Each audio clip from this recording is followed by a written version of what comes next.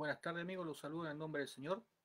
Sean todos ya bienvenidos en este ya segundo domingo de 2022.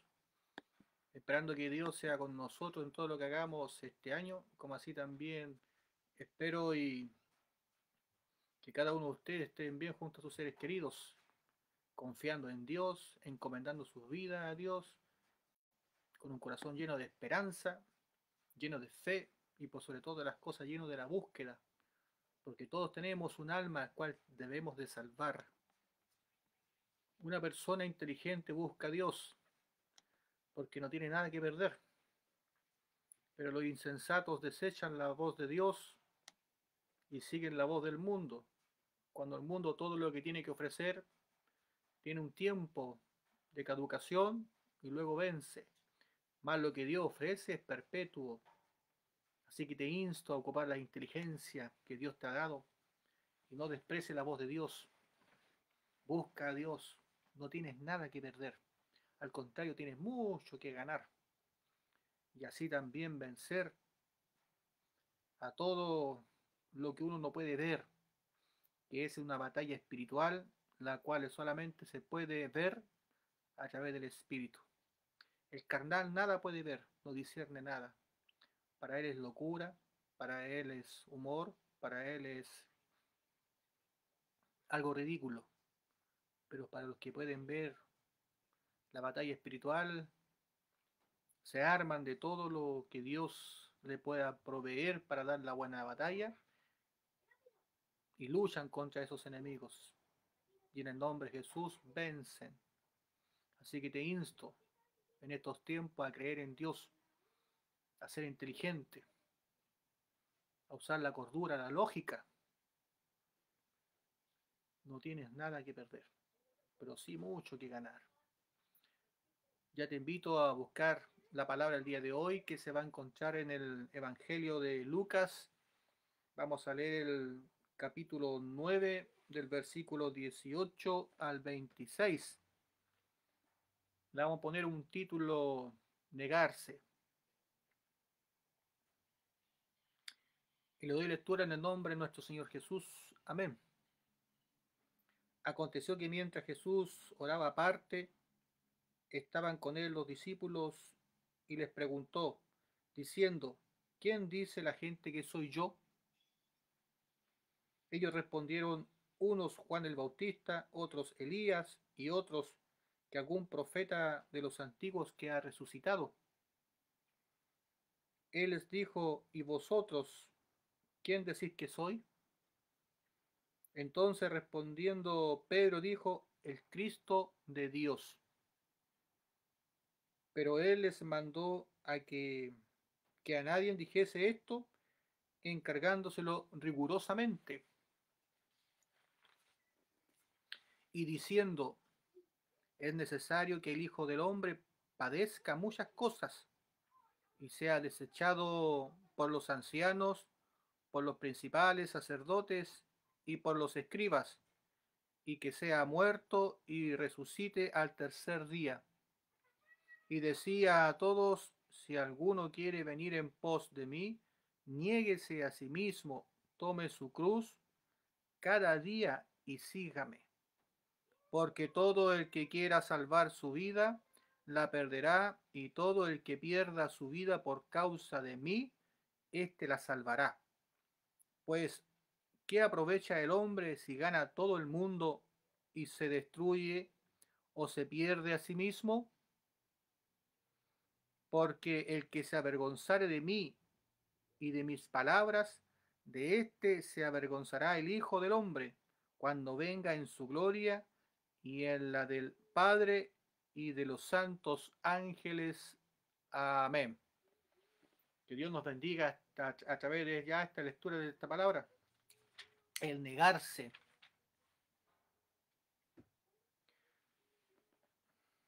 La confesión de Pedro al comienzo es algo que a nosotros también nos debe llamar mucho la atención y así también meditar. ¿Quién dices tú que Jesús es? Es una pregunta que debes de hacerte. Pero dijo que era el Cristo de Dios. Otros dicen que Jesús es un Dios menor, otros dicen que simplemente es un profeta, otros dicen que es un buen hombre, otros dicen que simplemente fue uno más, otros dicen que no existió. ¿Quién es Jesús para ti?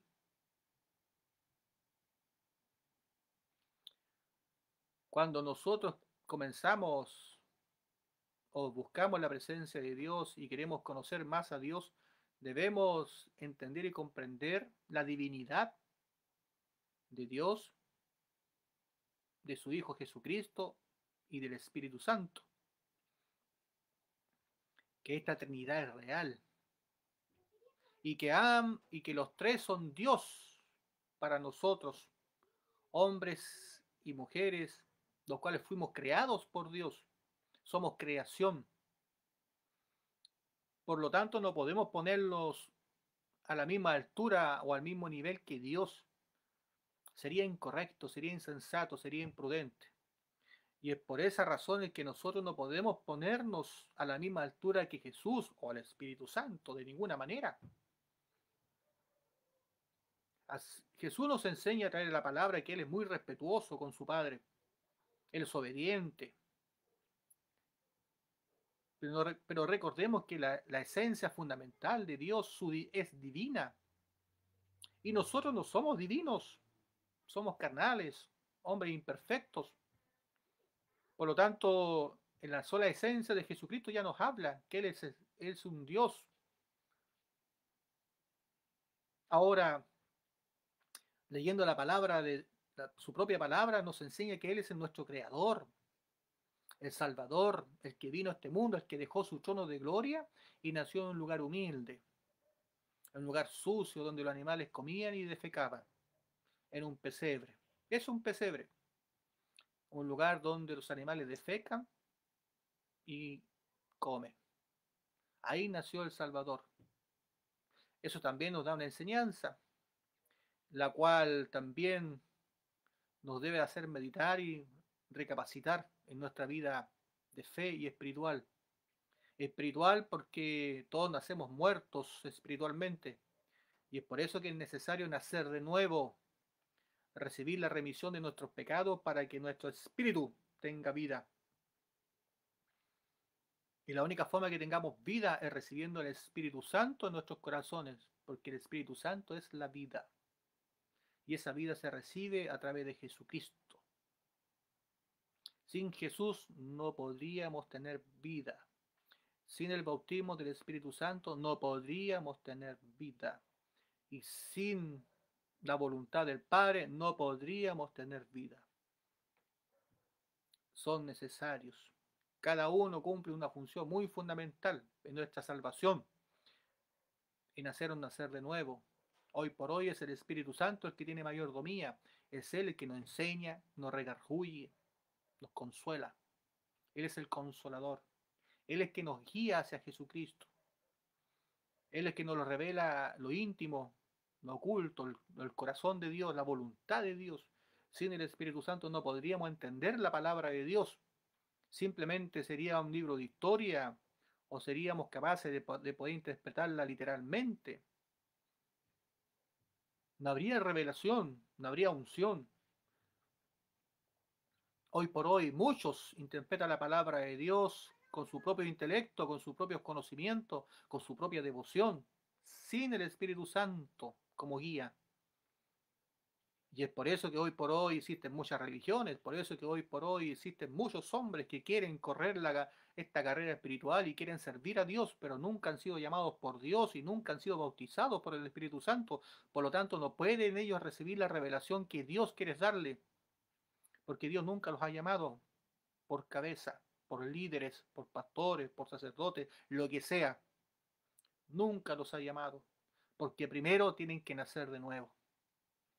Y ahí la importancia de poder negarse, el poder conocer la palabra de Dios y aceptarla tal como es, no como nosotros queramos interpretarla, porque la palabra de Dios no es de interpretación personal, la palabra de Dios es revelación de parte de Dios, donde se nos muestra el corazón de Dios, la intención de Dios y la voluntad de Dios.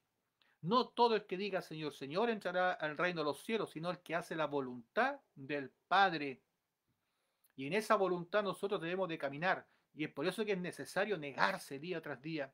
Y la pregunta que Jesús les hizo o le, hizo a sus discípulos, ¿quién dicen que soy yo ellos? Muchos escuchaban los comentarios que decía la gente alrededor, un profeta, el Elías. Decían muchas cosas de Jesús, pero Jesús, ¿qué le interesaba? ¿Qué decían sus discípulos? Lo que estaban alrededor de él, aquellos que aprendían de él, aquellos que le escuchaban, aquellos que ponían oído a sus enseñanzas.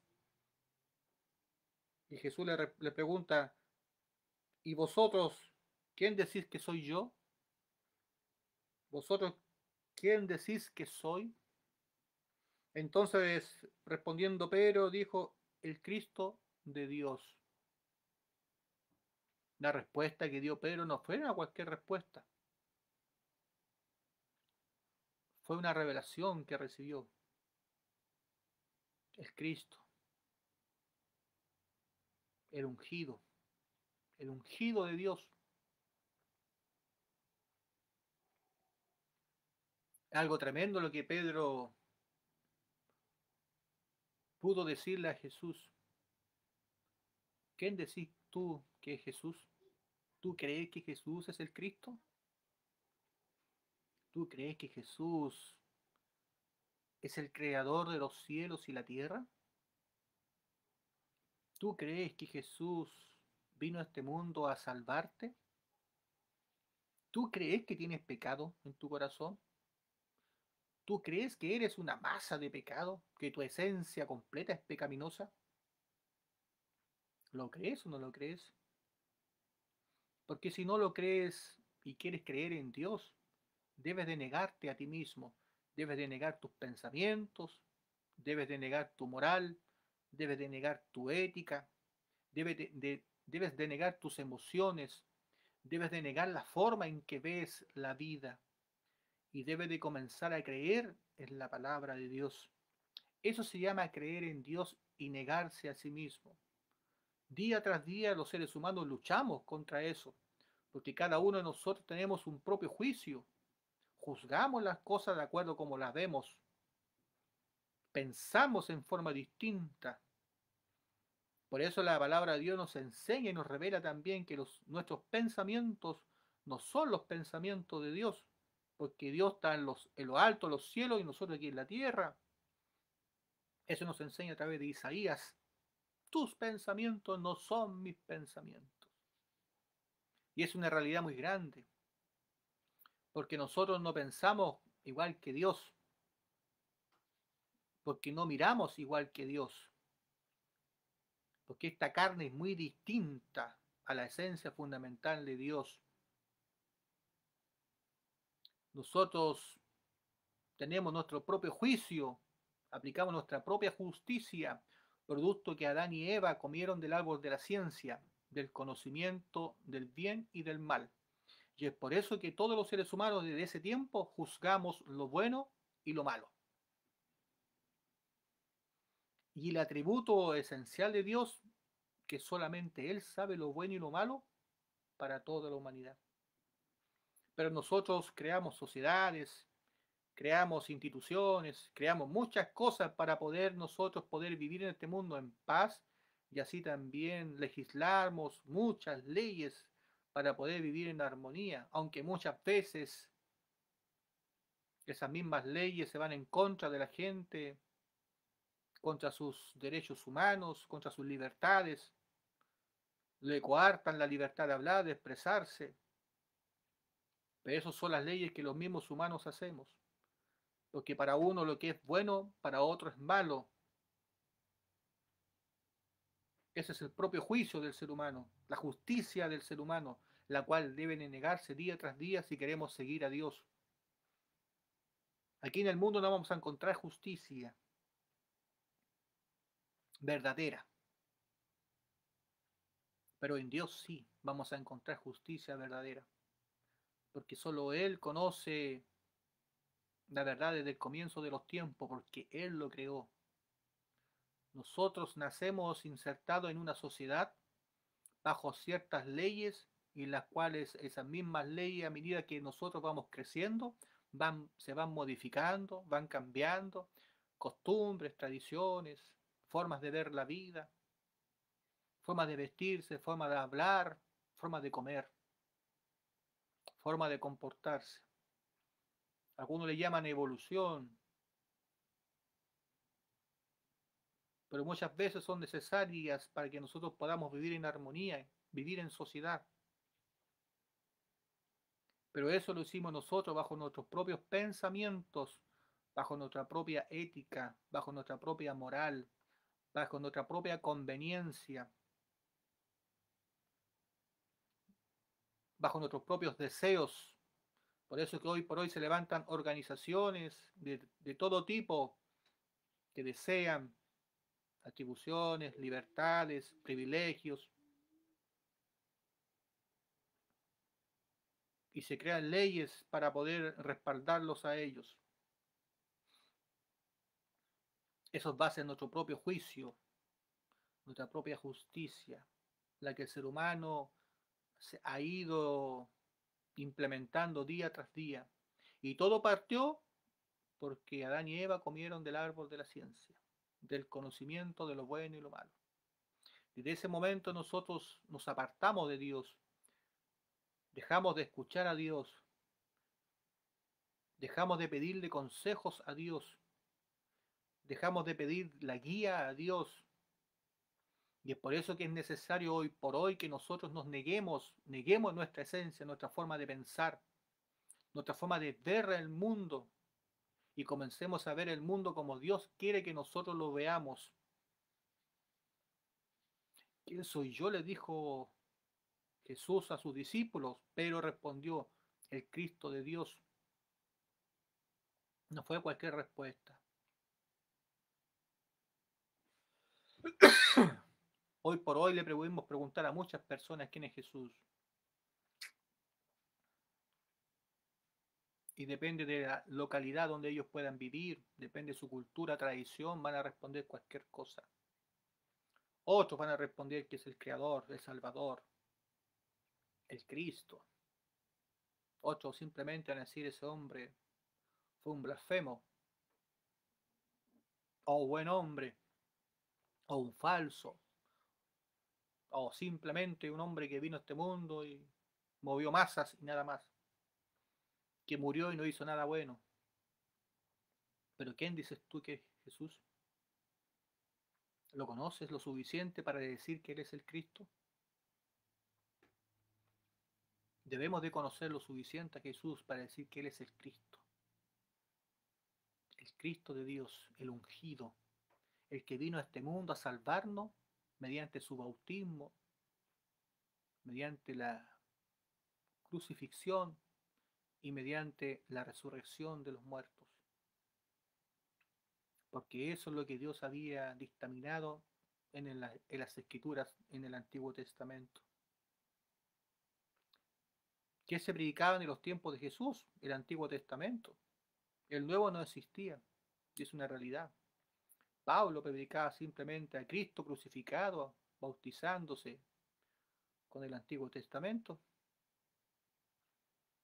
Él mismo citaba, como dice las escrituras, y es una realidad, el Antiguo Testamento completamente habla de Jesús, bautizándose y crucificándose y levantándose entre los muertos al tercer día. Pero era necesario que esa palabra de revelación que Dios les dio a través del Antiguo Testamento a, los, a sus discípulos la estamparan y se convirtiera en un Nuevo Testamento para, para que muchas personas pudieran entender y comprender la voluntad de Dios y pudieran creer en Jesús. Él, él era el Cordero de Dios que quita el pecado del mundo, como dice las Escrituras, como decía en el Antiguo Testamento. Por eso que cada palabra que hay en el Nuevo Testamento tiene su compañera en el Antiguo Testamento. Nada sobra y nada falta.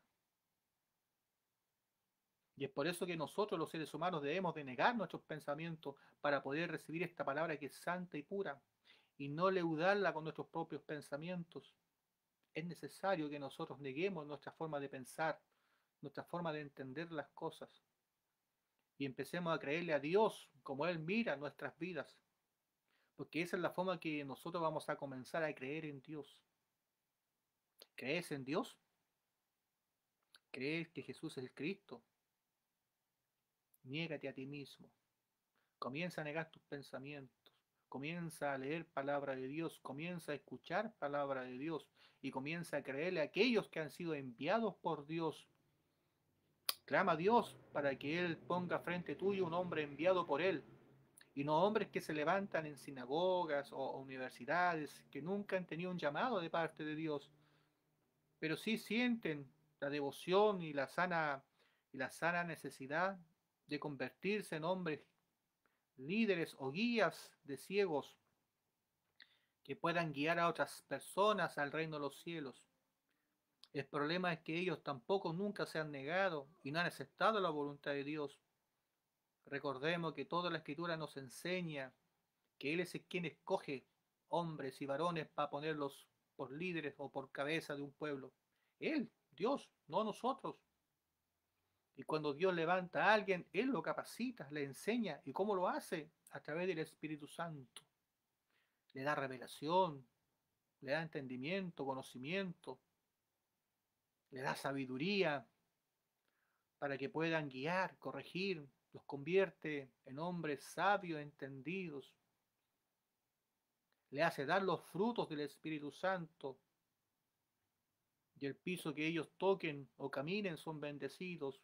Las personas que le abran las puertas esas personas van a ser bendecidas grandemente. Y si aún escuchan las palabras que salen por sus labios y la creen con su corazón, van a entrar al reino de los cielos. Porque esa es la bendición que Dios les dio a, ellos, a sus discípulos. Le entregó las llaves del reino de los cielos. Y todo lo que ellos ataren aquí en la tierra será atado allá en los cielos. Y todo lo que ellos desataren aquí en la tierra será desatado allá arriba en los cielos. Toda autoridad Dios les dio a sus discípulos para ir a predicar el Evangelio a toda criatura. Que es que creyere iba a ser salvo. Pero para eso tenemos que negar nuestros pensamientos, negar nuestra forma de ver el Evangelio, dejar de mirar el Evangelio de Dios como una mera religión. Hoy por hoy muchas religiones existen, se atribuyen el Evangelio original, otros se atribuyen muchas cosas, pero al final de todo caminar es que si no han nacido de nuevo y no tienen el amor de Dios en sus corazones, nada son. Por mucho que digan que son la, la iglesia original, o por muchos que digamos que somos el pueblo de Dios, el pueblo escogido, real sacerdocio, si no has recibido el bautismo del Espíritu Santo, juntamente con la remisión de tus pecados, nada eres, porque ahí no mora el Espíritu Santo, porque ahí no puedes tener el amor de Dios en tu corazón si no has recibido la remisión de pecados. Les recuerdo que el Espíritu Santo mora en un corazón limpio. Por eso que es necesario nacer de nuevo. Y recordemos que Dios es amor y el Espíritu Santo es Dios. Sin el Espíritu Santo en nuestras vidas no podemos tener el amor de Dios. Y sin amor no somos nada. Y como no somos nada, nada podemos entregar del amor de Dios. Pero si tenemos el Espíritu Santo en nuestros corazones, podemos hablar del amor de Dios porque Él mora en nuestros corazones. Y es la única manera correcta y perfecta de poder adorarle, bendecir su nombre con toda nuestra mente, con todo nuestro corazón y con todas nuestras fuerzas. No existe otra manera. Cualquier otra forma de que quieran inventar para adorar a Dios simplemente es una emoción carnal. Una emoción que algún día se va a terminar y se va a diluir. Así como una vela de cera encendida, en algún momento se va a apagar porque se va a acabar la, la cera. Así es la devoción del hombre. parte con un fuego tremendo en el corazón, pero con el tiempo se va acabando, se va disminuyendo hasta el punto que se apaga. Más cuando mora el Espíritu Santo, cada día es una enseñanza, cada día el Espíritu Santo te insta, todo lo podemos en Cristo porque Él nos fortalece y vemos cómo la mano de Dios se mueve a nuestro favor y nos insta a seguir avanzando. Pero así también nos insta a seguir aprendiendo, porque es necesario que salvos y no salvos tienen que negar sus pensamientos.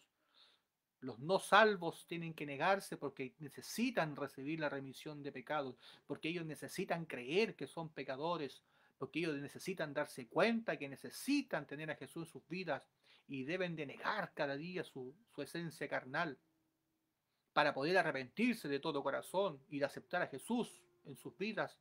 Y los salvos necesitan negar día tras día sus propios pensamientos, porque muchas veces en cada decisión que nosotros podamos tomar en nuestra vida de fe, si la tomamos nosotros sin la voluntad de Dios, nos vamos a equivocar.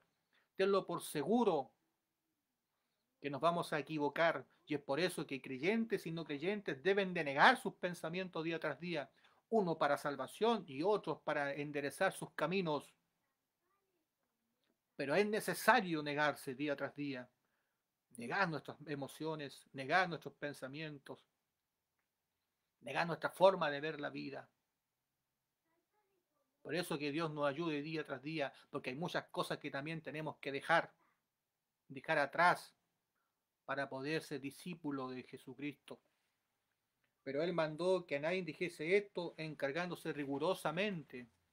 Luego Jesús dijo, y diciendo, es necesario que el Hijo del Hombre padezca muchas cosas y sea desechado por los ancianos, por los principales sacerdotes y por los escribas, y, y que sea muerto y resucite al tercer día. Debemos de creer que la venida de Jesucristo no fue en vano y que no fue una derrota, al contrario, fue la victoria más grande. El único que pensó que Jesús había sido derrotado era el diablo. El diablo pensó que había derrotado a Jesús cuando lo vio muerto en la cruz. Porque nada entendía, nada comprendía, porque en el diablo no hay sabiduría, no hay sabiduría divina. Dios es el gran estratega del mundo. No existe alguien más sabio que Dios. Y Dios en su finita sabiduría venció al diablo en el juego que el diablo quiso jugar. El diablo quiso tentar a Jesucristo, que era el Dios mismo, a través de su palabra. Y Jesús lo venció por la propia palabra de Dios, por la propia palabra que Él habló por su boca. Porque no tan solo de pan vivirá el hombre, sino de toda palabra que sale de la boca de Dios. Debemos de negar nuestra vida espiritual, debe ser plena en Jesucristo. El hombre no tan solo vive del pan, del pan carnal, de la masa que nosotros tuvimos día tras día, y que muchas veces ahora sufrimos porque el alza, el alza del costo del pan día tras día se ha ido incrementando. Por eso que Dios nos ayude en estos tiempos. Más la palabra de Dios no tiene costo alguno. Es gratuita. Y alimenta tu alma. Alimenta tu vida, tu vida espiritual, tu fe, la cual te guía hacia el reino de los cielos. Ese es Dios, no te cobra nada. Tú para alimentar tu cuerpo carnal debes de pagar por el pan. Sea cual sea el precio, necesitas. Pero el único costo que Dios te pide a ti para que puedas entrar al reino de los cielos y seguirle es que creas en Él y tomes su palabra en tu corazón y te niegues día tras día, negarte, negar tus pensamientos, tu forma de ver la vida, que para Dios somos todos iguales, cuando nacemos somos todos iguales delante de Dios. Es, es evidente que somos todos iguales delante de Dios. ¿Y por qué es evidente? Porque todos nacemos de una semilla que se llama pecado. Por eso la Biblia nos enseña, nos dice que con el tan solo mirar, pecamos. con Él tan solo mirar, porque nuestra esencia fundamental es pecaminosa. Y es por eso que es necesario nacer de nuevo. Y para poder nacer de nuevo debemos de creer en Jesucristo. Pero antes de creer en Jesucristo debemos de conocer nuestra esencia fundamental. Si no conocemos nuestra esencia verdadera, ¿de qué nos vamos a arrepentir? De las obras, de lo malo que hemos hecho. Esos son transgresiones, la llama Dios. Y si nosotros cometemos actos malos en esta vida es porque está morando en nuestros corazones esos pecados y esas maldades. Así como Dios los describió en Marcos 3, 21, nos hablaba que del corazón de los hombres salen las malicencias, el robo, el matar, la lascivia, la envidia, la fornicación, el adulterio. Y muchos otros males más salen de nuestro corazón. Y todo eso contamina al hombre y no es que venga del aire se abducan y en algún momento aducimos el mal y mueren nuestros corazones, sino es que nacemos con eso en nuestros corazones y si no entendemos eso, no le vamos a creer a Dios correctamente. Mirar la vida con nuestros ojos carnales nos va a estorbar. Tenemos que aprender a mirar la vida con los ojos espirituales, la cual Dios quiere que nosotros le miremos. Por eso que Dios en el Antiguo Testamento, por estatuto perpetuo, mandó a circuncidar a los pequeños a los ocho días de haber nacido. Circuncidar era muy importante para el pueblo de Israel, la circuncisión. Es una forma también de costar cualquier tipo de infección, pero también era parte de ser parte del pueblo de Dios, porque Dios lo dio, la circuncisión y hasta el día de hoy se siguen circuncidando. Pablo nos enseña que la circuncisión es del corazón. ¿Y por qué del corazón? Porque así cuando se circuncisa el prepucio del hombre, eh, se corta la infección o evitamos algún tipo de infección. Y la infección espiritual que todos los seres humanos tenemos es el pecado. Y la única manera de cortar ese pecado es circuncidando el corazón circuncidar. Por eso que es necesario, una vez más, te digo, nacer de nuevo. Niégate, niega tus pensamientos. Porque tú te miras a un espejo, te ve tan bueno, tan gallardo, tan educado, tan respetuoso, tan benéfico. Te comparas con otras personas que tienen un mal hablar, un mal comportamiento. Lo ves por las calles sucio, andrajoso, drogadicto, alcohólico. ¿Cuál es la diferencia entre ese hombre y un hombre y una persona educada? Los seres, esta sociedad te va a dar un montón de diferencia.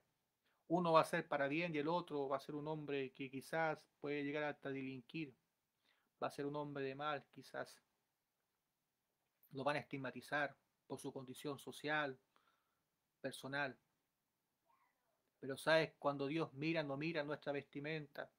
Dios no mira nuestras condiciones sociales. Él lo que ve es nuestro corazón. Y es indudable, porque todos nosotros nacemos destinados a irnos al infierno, ricos y pobres. Los príncipes y hasta la persona más humilde del mundo, para Dios son iguales. Porque todos necesitan recibir la remisión de sus pecados. Todos necesitan nacer de nuevo. Todos necesitan el bautismo del Espíritu Santo tanto ricos como pobres. Por eso que Dios no hace acepción de personas, somos nosotros que hacemos distinciones de personas. Y de acuerdo a, y de acuerdo a nuestra condición social, de acuerdo a muchas cosas que nos parecen, si somos blancos, si somos negros, somos amarillos, si olemos bien, olemos mal, si nos vestimos bien, nos vestimos mal. Hoy por hoy, mucha gente que cree en Dios está preocupado de la apariencia exterior y se olvidan que el exterior de nada sirve si el interior está inmundo. Niégate a ti mismo, comienza a ver con ojos espirituales, no con ojos carnales, los caminos de Dios. ¿Quién es Jesús? Es el Cristo, Él es ungido, el que te enseña a ti, es un ungido. Él te puede guiar a una vida espiritual sana. ¿O te está haciendo un religioso? un hombre que te hace vivir de la apariencia exterior. Porque hoy por hoy muchos hombres viven como santos y piadosamente, pero su interior siguen estando sucios, inmundos, porque no han nacido de nuevo. Se engañan a sí mismos. Caen en la trampa del engaño. Se estafan a ellos mismos porque ellos mismos creen que son personas correctas delante de Dios en la forma de vestir, la forma de hablar, porque muchas cosas han cambiado en su vida exterior, pero su vida interior nada ha cambiado, sigue estando el pecado en sus corazones, necesitan negarse, necesitan cambiar su vida espiritual, necesitan nacer de nuevo. Vuélvete a Cristo de verdad. Deja de aparentar lo que no eres, porque si Dios nada te ha dicho, nada eres. Deja de corregir a aquellos que Dios ha levantado cuando Dios a ti no te ha levantado por cabeza. Y aprende a oír a aquellos que Dios ha levantado y obedece a la palabra de Dios y niega tus pensamientos. Sé pronto para oír y tardo para hablar. Porque esa va a ser la bendición tuya. Porque la fe viene por el oír. No seas insensato. No seas imprudente. Vuélvete a Cristo mansamente, humildemente, porque si Dios nada te ha dicho, nada eres. Pero necesitas un alma que salvar y necesitas oír palabra de Dios. Y necesitas nacer de nuevo urgentemente. Los años no te salvan. Que llevas 40 años caminando, creyendo en Jesús, no te salva. Es que la salvación no se pierde. Sí se pierde la salvación. Y muchos la pierden porque no saben negarse, porque en vez de seguir los caminos de Dios, siguen sus propios caminos, porque en vez de escuchar la voz de Dios, escuchan su propia conciencia y no siguen la voluntad de Dios, y no todo el que diga Señor, Señor. Y el que sepa hacer lo bueno y no lo hace, le es considerado pecado. Por eso, cualquier cosa guardada, guarda tu corazón, porque de ahí emana la vida. Debes de guardar tu corazón. Y la forma de guardar tu corazón es negándote día tras día tus emociones, tus pensamientos, tu carnalidad. Y obedece a la voz de Dios. ¿Y qué quiere Dios que nosotros hagamos día tras día? Que sigamos confesando nuestra fe delante de Él, que hemos nacido de agua y espíritu, que creemos que Jesús es el Dios Todopoderoso, que creemos en la Santa Trinidad, que su palabra es verdad y es vida, que hemos aprendido a vivir bajo la gracia de Dios, bajo la unción de Dios, que creemos en sus consejos, que a pesar que nuestros pensamientos nos parezcan correctos, lo negamos por seguir la voz de Dios, por seguir la palabra de Dios. Te quiero llevar a Mateo 19, versículo 29 dice, y cualquiera que haya dejado casas, o hermanos, o hermanas, o padre, o madre, o mujer, o hijos, o tierra, por mi nombre, recibirá cien veces más y heredará la vida eterna. ¿Qué es muchas veces lo que te estorba a ti para que la gloria de Dios sea manifiesta en tu vida? No te estoy diciendo, deja familia, casa y abandona todo, sigue a Cristo. Te estoy diciendo que tienes que aprender a negarte. Muchas veces uno pone oídos a lo que te puedan decir la familia. Muchas veces uno pone oído a lo que te puedan aconsejar ellos. Y todo consejo que ellos te pueden dar va a ser para bien. Pero ¿será la voluntad de Dios? ¿Serán los consejos que Dios te quiere dar a ti? Niégate. Niega tus pensamientos y pregúntale a Dios. Pídele consejo a Dios. Y si por causa de Él comienzas a perder muchas cosas, aférrate a Él, que Él te retribuirá cien veces más. Porque si lo perdiste por causa de su nombre, te has ganado la vida eterna. Porque vas caminando a la vida eterna y vas rumbo por el buen camino. Y son otros los que te están dejando desechando, y no tú lo que no tú el que estás desechando a esa familia, sino son otros. Pero a veces es necesario apartarse de algunas personas que te hacen muy mal, que te hacen apartarte de los caminos de Dios. ¿Podemos hacerlo? No podemos negar que Dios nos bendiga día tras día en este caminar, porque hay tantas cosas que nosotros debemos de lograr entender y comprender. La Biblia dice que cree tú y toda tu familia será salva. Y es una realidad. ¿Y por qué es una realidad? Porque el Hijo de Dios predica la palabra de Dios, porque el Hijo de Dios enseña la palabra de Dios. Nadie va a ser salvo si no tiene el conocimiento de la verdad. No te engañes a ti mismo. Trata de comprender lo que Dios quería decir a través de ese versículo. Cree tú y toda tu familia va a ser salva. Niega tus pensamientos, llega a tus emociones y predícale a tu mujer o predícale a tu marido. Enséñale la palabra, háblale con amor, háblale con respeto, considerándote a ti mismo. Predícale a tus hijos, enséñale la verdad, predícale a toda tu familia, enséñale la verdad. Y si ellos no quieren aceptarla, tú ya has cumplido, tus manos están libres de sangre. Porque hiciste la voluntad de Dios. Predicarle, enseñarle, querer entregar el amor de Dios a ellos.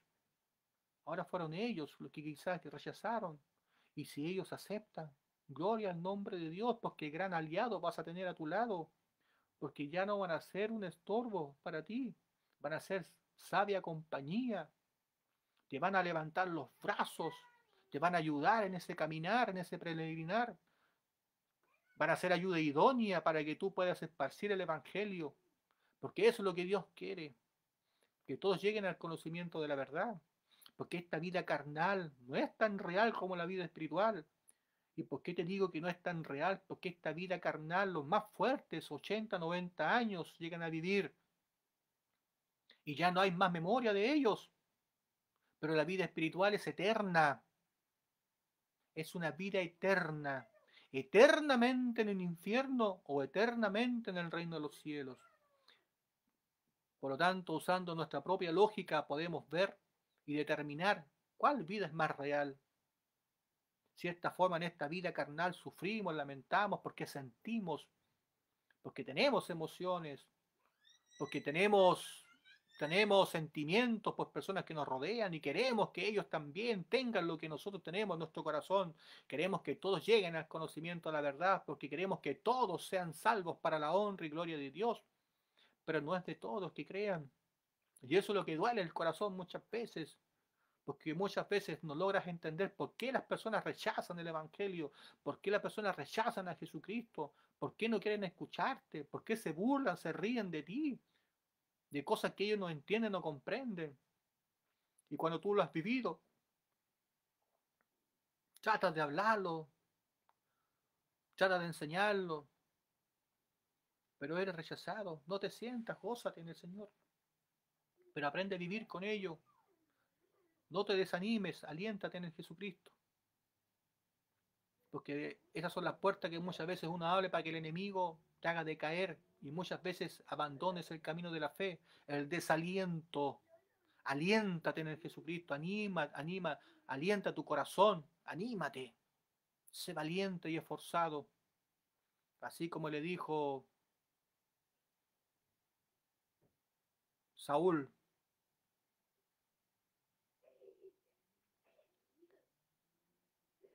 Dios nos ayude.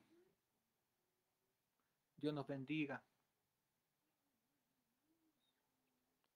Sé valiente y esfuérzate.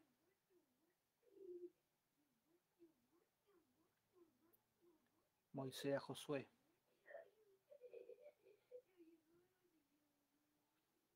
Hay que ser valiente para muchas cosas y esforzado para muchas cosas dentro de la obra de Dios. Pero el desaliento que nunca te gane. Anímate aliéntate.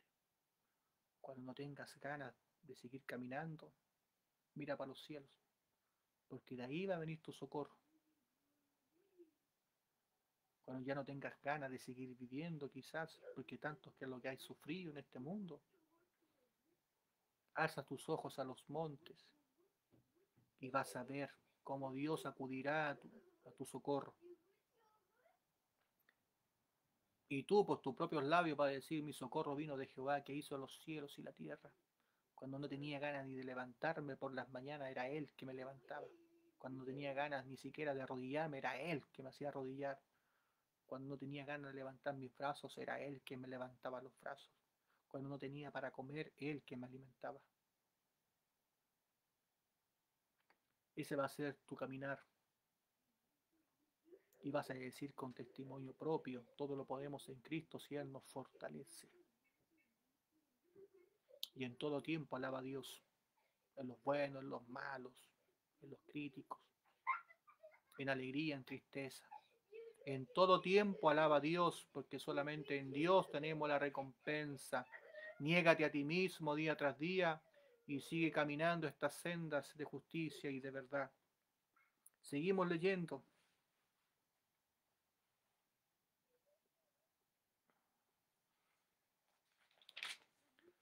Y decía a todos, si alguno quiere venir en pos de mí, niégase a sí mismo, tome su cruz cada día y sígame. ¿Cuál es tu cruz? Que debes de cargar para poder negarte. Todos tenemos una cruz quizás, o dos o tres. Tú debes de conocer, tú debes de, de discernir tu vida. Debes de aprender a conocerte porque eso es lo que tú debes de negarte todos los días, esa va a ser tu cruz, la cual debes de cargar para poder seguir a Jesucristo. De otra forma, si no te niegas a ti mismo, tu carnalidad, tu forma de pensar, aunque sean las correctas, o quizás tú te crees tan sabio y que te crees tan entendido en la palabra de Dios, que no pides consejo a nadie, ni aún ni al propio Dios, a Dios le pides consejo para poder seguir caminando. Esa va a ser tu cruz. Niégate, porque Dios te está diciendo que debes de negarte. Si quieres seguirle, debes de negarte. ¿Alguna condición particular tuya? Niégate.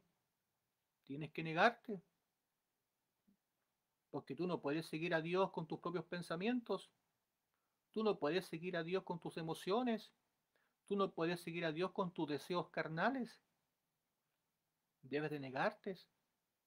Debes de hacer morir la carne. Porque lo que es de la carne, carne es. Y lo que es del espíritu, espíritu es. Toma tu cruz y síguele. Ese va a ser tu trabajo. Niégate día tras día. Porque todo lo que quiere salvar su vida, la perderá. Mire, si tú quieres salvar tu vida, tienes que perderla. Debes de negar tu esencia fundamental, tu esencia carnal, debes de negarla. Ya no debes de vivir más por la carne, debes de aprender a vivir en el espíritu. Y para vivir en el espíritu debes negar tus pensamientos, tus emociones, tus sentimientos. Si tú ves una persona que está en la calle con mucha necesidad, muerta de hambre, andrajosa, sedienta, sin nada que comer, ya admirarla te conmueve el corazón te aseguro lo que primero vas a hacer es ir a alimentarla y vestirla. Y te vas a sentir muy bien. ¿Por qué? Porque vas a ayudar a esa persona. Esa es nuestra conciencia carnal. Ahora la pregunta es, ¿hiciste algo por su alma? ¿Hiciste algo por su espíritu? ¿Le hablaste de la palabra de Dios? ¿Recibió la remisión de los pecados? Porque eso es lo que permanece para siempre porque la ayuda carnal que nosotros podamos darle, la ayuda material que nosotros podamos darle, no es eterna, es pasajera, dura por un instante, un momento, quizá le vas a dar un kilo pan, pero al día siguiente va a, volver, va a volver a tener hambre. ¿Y qué vas a hacer? Primero lo espiritual y luego lo material. Primero lo es, primero es el interior y luego lo exterior. Niégate, es lo que tenemos que hacer. Pero si somos impulsados por nuestras emociones, por nuestros sentimientos, vamos a hacer simplemente la obra material y nos vamos a sentir tan confortados con nuestra conciencia carnal que nos vamos a olvidar de la obra espiritual. Así hoy por hoy hay muchas religiones que hacen obras benéficas y no obras espirituales. En eso se han convertido muchas religiones en el mundo, simplemente en instituciones benéficas y no en instituciones en las cuales hagan nacer de nuevo a personas o que conviertan a personas en hijos de Dios. Niégate. Tenemos que negarnos. Pues, ¿qué aprovecha al hombre si gana todo el mundo y se destruye o se pierde a sí mismo? ¿Qué aprovecha al mundo si ganamos todo el mundo y si se pierde y perdemos todo y, y morimos? ¿Qué ganamos? Nada nos vamos a llevar de este mundo. Podemos ganar todo el mundo y el día que nos moremos nada, nada nos vamos a llevar. Podemos sacrificar toda nuestra vida en ganar toda la riqueza en este mundo, en ser los hombres más famosos del mundo. ¿Y qué ganamos? Si nada nos vamos a llevar, no nos vamos a llevar ni la fama, no nos vamos a llevar ni la gloria, no nos vamos a llevar ni el poder, ni las riquezas. No nos vamos a llevar nada. ¿Y de qué vale? Alguien dijo vanidad de vanidades, todo era vanidad. ¿Vale perder una heredad eterna por un plato de lentejas? Para nada vale perder la heredad en el reino de los cielos por un plato de lentejas. ¿A qué, qué te quiero decir? Que no vale la pena perder el reino de los cielos, una vida eterna en el reino de los cielos, por las riquezas del mundo, que son pasajeras y no te puedes llevar porque el que se avergonzare de mí y de mis palabras, de éste me se avergonzará el Hijo del Hombre cuando venga en su gloria y en la del Padre y en la de los santos ángeles. Jamás te avergüenza de decir que crees en Dios. Nunca te avergüences decir que quieres aprender de la palabra de Dios.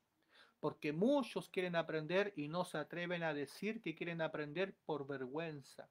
Y esa vergüenza te está haciendo perder una gran bendición pierde la vergüenza, comunícate con aquellos que, tú quieres que te enseñen y vas a ver cómo vas a ser bendecida, vas a ver cómo vas a ser recibida como la persona más importante del mundo, porque no va a existir un honor más grande para un hijo de Dios que alguien quiera conocer a Dios y aprender de Él que Él es santo y justo. Que Dios te bendiga esta tarde hasta aquí Dios me ha dado, esperando que cada uno de ustedes hayan tomado su pequeña porción. Pero es muy importante que día tras día podamos negar nuestra vida y podamos conocer a Dios cada día más, porque esa es la manera correcta de que podamos unir nuestros corazones al corazón de Dios y seamos un solo corazón y una solamente la mente de Cristo para que de la abundancia del corazón abre nuestra boca y aquellas personas que quieran escuchar palabra de Dios, cuando la escuchen por tus labios, sean bendecidas, restauradas, edificadas. Y que las palabras no salgan al vacío y caigan al suelo y simplemente sean como acordes bonitos que no llegan a ninguna parte, sino sea una palabra así llena de la unción de Dios que penetre lo más profundo de los corazones hasta los tuétanos y que te haga recapacitar tu conciencia. Y cuando escuches una palabra que te conmueva o que te ofenda muchas veces, no dejes de escucharla, porque muchas veces Dios reprende al que ama. Que Dios te bendiga y te envío otras gracias por esta palabra. Padre Santo, te doy gracias por su amor y misericordia, como así también por haberme permitido predicar esta palabra. Esperando que usted sea con cada oyente, derrame sabiduría, entendimiento, inteligencia, y sea usted glorificándose en todo lo que nosotros hagamos. Padre mío, ayuda a aquellos que quieren aprender de ti, como así también a aquellos que necesitan de ti. Obre el hospital, en las cárceles, las calles, en los templos, en las sinagogas, en los lugares altos. Obre donde quiera que haya una persona con necesidad, Dios Todopoderoso, creyente o no creyente. Tú tienes poder para tocar los corazones y quebrantar, Padre mío. Como así también derrumbar las murallas que han puesto muchas veces para que no penetre tu propia palabra. Pero tú tienes poder para derrumbar murallas, Dios Todopoderoso y hacer que esas rocas hablen y se gocen y sientan de ti. Tú tienes poder, Padre mío, para poner carne donde aquellos que aún no han nacido de nuevo, así como esos huesos secos, escucharon tu palabra y les comenzaron a salir tendones, carnes, y se transformaron en seres vivientes, así también tú tienes poder en estos tiempos para hacer nacer de nuevo a toda criatura. Te doy gracias por esta bendición, mi Señor, y bendíganos en el nombre del Padre, Hijo y Espíritu Santo. Amén. Bien amigos, hermanos, sean todos bendecidos y será hasta la próxima si Dios así lo quiere. Bendiciones.